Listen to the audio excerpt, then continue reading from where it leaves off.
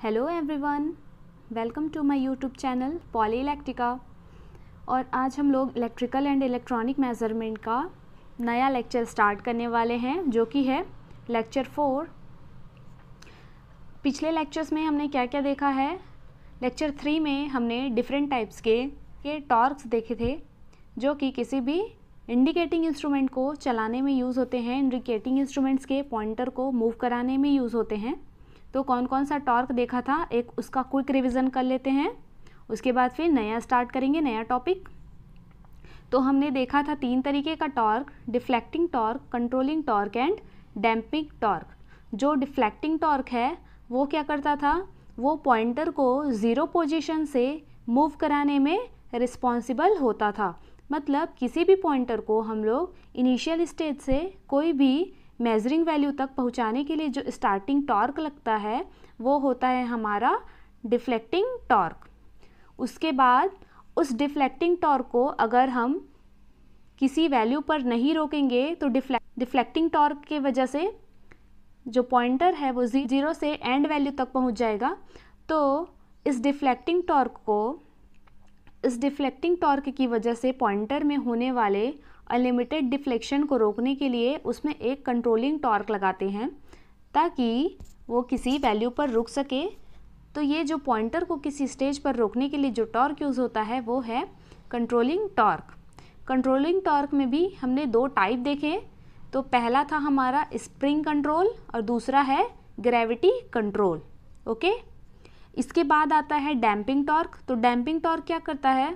Pointer में होने वाले ऑसिलेशन को या फिर पॉइंटर में होने वाले कंपन को रोक कर एक निश्चित वैल्यू पर पॉइंटर को शो कराने का जो काम करता है, वो करता है डैम्पिंग टॉर्क।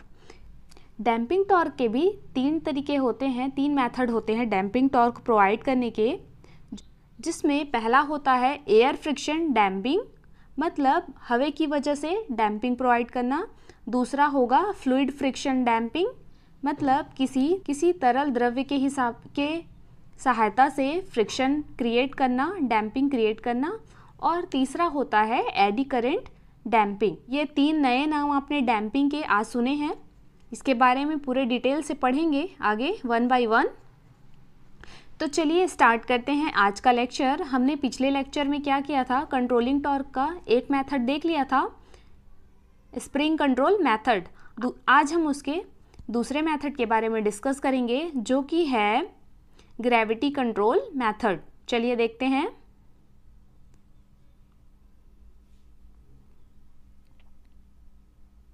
ये स्टार्ट करते हैं कंट्रोलिंग टॉर्क का सेकंड मेथड जो कि है gravity control method gravity control method का डायग्राम आप स्क्रीन पर देख सकते हैं। क्या क्या है इसमें? लास्ट टाइम पे जो हमने देखा था स्प्रिंग कंट्रोल उसमें पॉइंटर जो है स्प्रिंग की सहायता से स्पिंडल से जुड़ा हुआ होता था, पर इसमें क्या होगा ग्रेविटी कंट्रोल में ये जो पॉइंटर दिख रहा है हमारा, ये जो पॉइंटर दिख रहा है हमारा, इसमें दो वेट लगे होंगे। एक है कंट्रोल वेट और दूसरा है बैलेंस्ड वेट ये डायग्राम में आप आसानी से देख सकते हैं। ऊपर पर लगा हुआ है स्केल ये जो पॉइंटर है, ये ये सेंटर से स्पिंडल पर जुड़ा हुआ है। अगर पॉइंटर हमारा ज़ीरो पोजीशन पर होगा तो वो यहाँ पर कंडीशन में होगा ज़ीरो और अगर वो मूव करेगा डिफ्लेक्शन के बाद तो वो किसी वैल्यू पर डिफ्लेक्ट होके आएगा। तो ये हम डायग्राम में देख सकते हैं। एक पॉइंटर बना हुआ है, जिसमें कि दो वेट लगे हुए हैं बैलेंस वेट और कंट्रोल वेट उसके अलावा उसके, उसका अगर किसी डिफ्लेक्टिंग टॉर्क के वजह से डिफ्लेक्शन जो है थीटा हो जाता है तो उसका डिफ्लेक्शन इस पोजीशन में आ जाएगा। अब हम पढ़ते हैं ग्रेविटी कंट्रोल का एक बेसिक डायग्राम के बाद उसका वर्किंग फ़ंक्शन कि वो कैसे वर्क करता है। चलिए देखते हैं। In this method a small weight is attached to the moving system अभी डायग्राम में हम लोग देखें कि जो मूविंग सिस्टम था मूविंग सिस्टम क्या है हमारा? पॉइंटर इस पर दो स्मॉल वेट लगे हुए थे which provides necessary controlling torque जो कि नेसेसरी कंट्रोलिंग टॉर्क प्रोवाइड करता है। अब कैसे करता है ये देखते हैं। In the zero position of the pointer the control weight hangs vertically downwards and therefore provides no controlling torque यहाँ पर डायग्राम में देखिए, अगर हमारा ज़ीरो कंडीशन है तो ये जो कंट्रोल वेट है, ये वर्टिकली डाउनवर्ड है और ग्रेविटी का जो इफ़ेक्ट है, इस पर वर्क कर रहा है। तो जब कोई भी डिफ्लेक्शन नहीं हो रहा है तो हमारा कंट्रोल वेट जो है कंट्रोल वेट वाला जो हिस्सा है, वो डाउनवर्ड्स है वर्टिकली डाउनवर्ड यहाँ पर ये कोई भी कंट्रोलिंग टॉर्क प्रोवाइड नहीं कर रहा है। अब क्या होगा? However under the action of deflecting torque the pointer moves from zero position and control weights move in opposite direction जैसे ही जो हमारा पॉइंटर है डिफ्लेक्टिंग टॉर्क की वजह से इस डायरेक्शन में मूव करेगा, ये जो कंट्रोलिंग टॉर्क है, ये भी अपने जगह से मूव करना स्टार्ट करेगा इस डायरेक्शन में।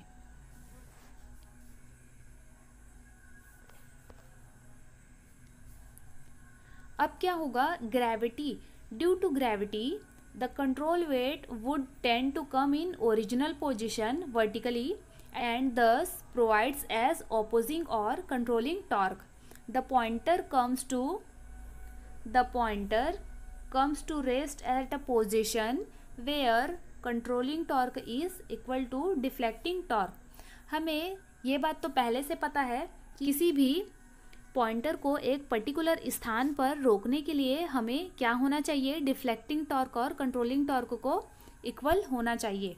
अब हम देखते हैं। जैसे कि ये पॉइंटर इस डायरेक्शन में मूव कर रहा है, ये जो कंट्रोल वेट है, ये अपर डायरेक्शन में मूव करना स्टार्ट करेगा। अब क्या होगा?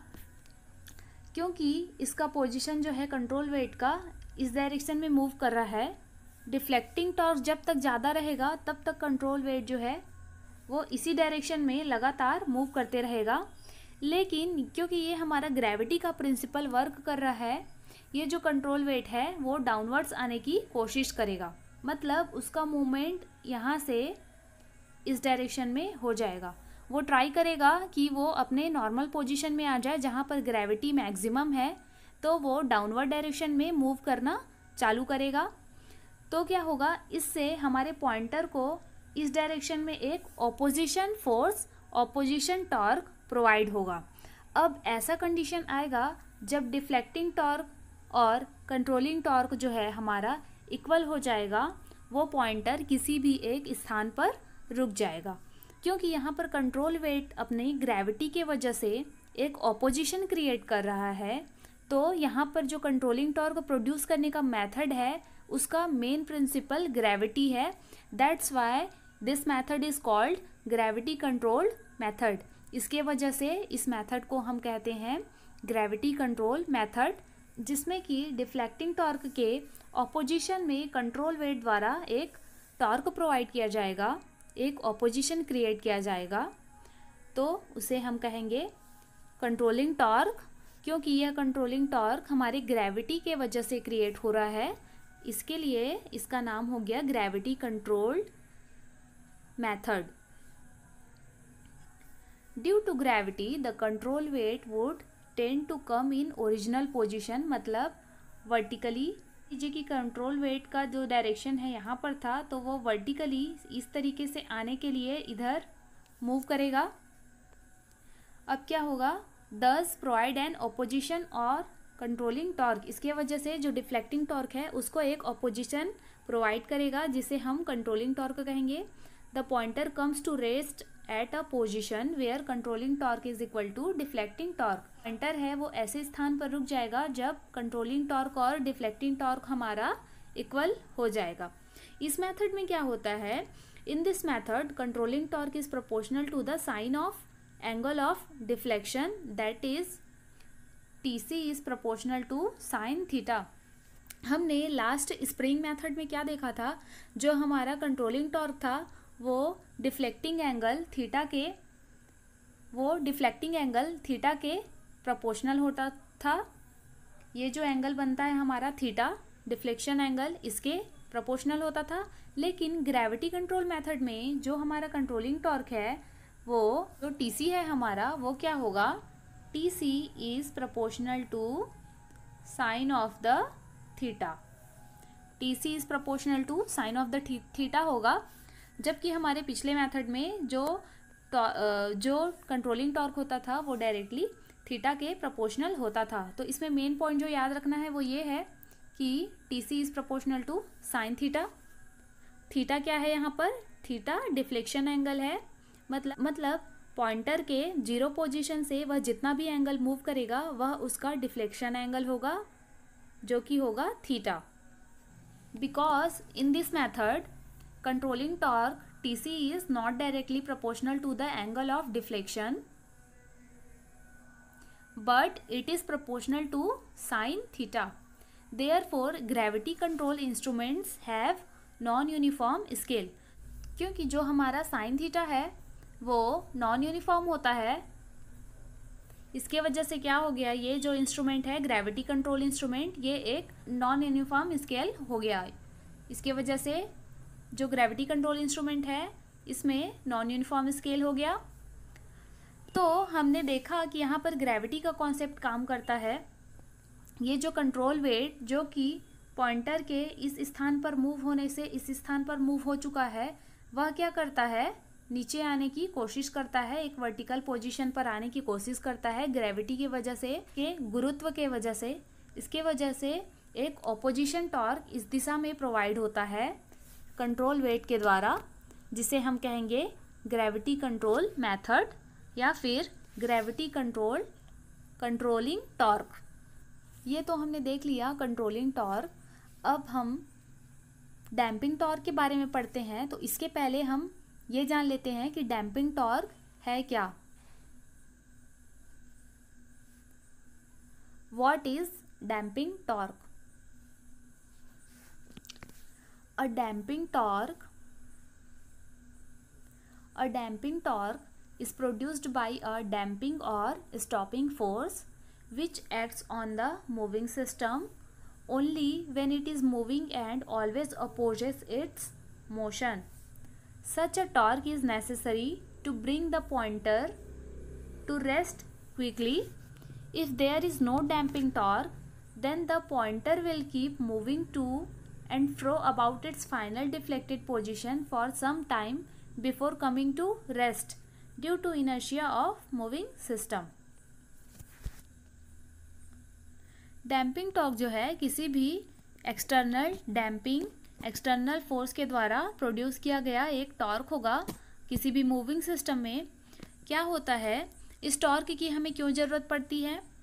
इस टॉर्क का पहली बात तो हमने पहले देखा था कि डैम्पिंग टॉर्क किसी भी ऑसिलेशन को तुरंत बंद करने के लिए यूज़ में आता है। तो क्या हो गया? Such a torque is necessary to bring the pointer to rest quickly.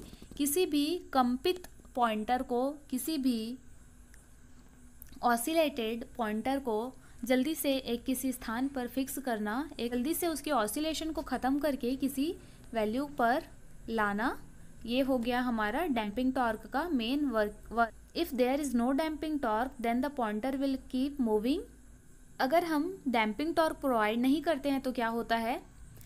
किसी भी जो मूविंग सिस्टम है, उसमें उसके जड़त्व की वजह से मूवमेंट होता रहेगा। जैसे डिफ्लेक्सिंग डिफ्लेक्टिंग टॉर्क जब भी प्रोवाइड हुआ है तो वो मूवमेंट कंडीशन में था तो उसके जड़त्व के वजह से, उसके इनर्शिया के वजह से उसे तुरंत इंस्टेंट स्टेबल पोजीशन में आना पॉसिबल नहीं है। तो क्या होगा, वह धीरे धीरे धीरे करके एक कंपित रूप से एक स्थिर पोजीशन पर पॉइंटर आएगा। उसको एक निश्चित वैल्यू पर आने के लिए उस कंपन का जो ड्यूरेशन रहेगा, उसे तय करना होगा। उस, हमें वेट करना होगा जब तक कि उसमें कंपन ख़त्म मत हो जाए। उसके बाद ही हम किसी भी मेजरिंग इंस्ट्रूमेंट का रीडिंग ले सकते हैं।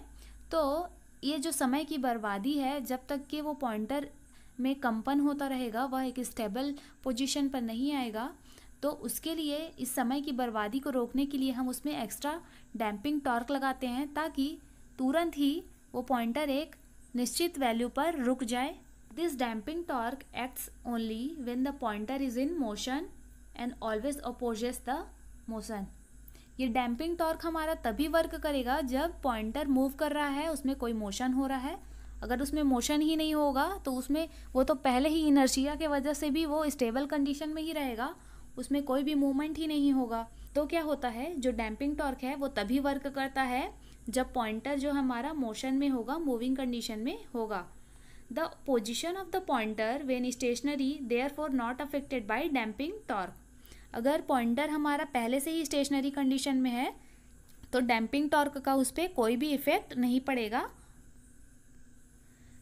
चलिए डायग्राम के फॉर्म में समझते हैं कि ऑसिलेशन किस तरीके से होता है और डैम्पिंग करने से क्या उस पर असर पड़ता है। यहाँ पर देखिए, मान लीजिए कि पॉइंटर है जो, वो थीटा एंगल पर डिफ्लेक्शन हुआ था। पॉइंटर यहाँ से ज़ीरो से स्टार्ट हुआ। यहाँ पर किसी वैल्यू पर जाके एक थीटा एंगल से वो मूव कर गया है। अब क्या होगा? जब कंट्रोलिंग टॉर्क प्रोवाइड होगा तो पॉइंटर में कंपन हो जाएगा। तो उसका जो थीटा है, ये देखिए यहाँ पर टाइम और थीटा का ग्राफ बना हुआ है। टाइम और थीटा, जो कि उसका डिफ्लेक्शन एंगल है।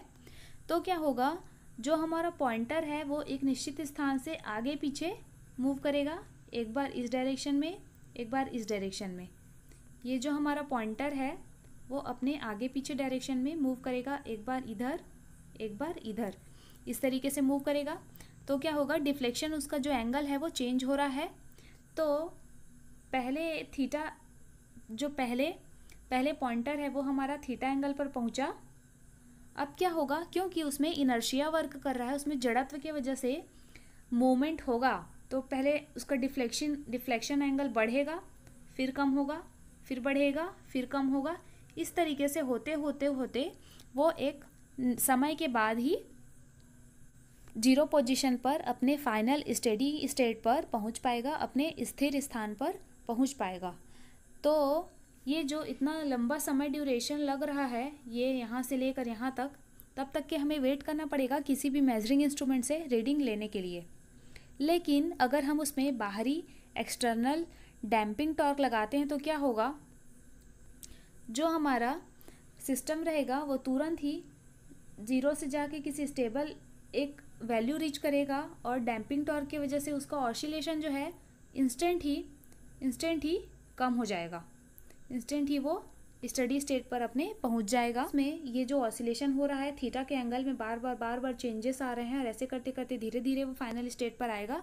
तो ये समय की जो बर्बादी है, ये बच जाएगी अगर हम उसमें एक्सटर्नल डैम्पिंग टॉर लगा दें।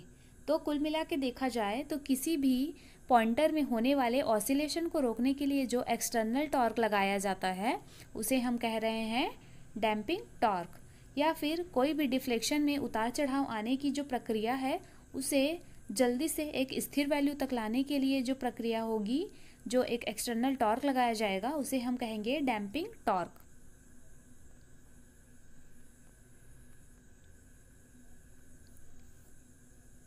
किसी भी इंडिकेटिंग इंस्ट्रूमेंट्स में डैम्पिंग टॉर्क प्रोवाइड करने के भी डिफरेंट मेथड हो सकते हैं, जो कि है, यहाँ पर हम देखेंगे तीन तरीके का मेथड होगा.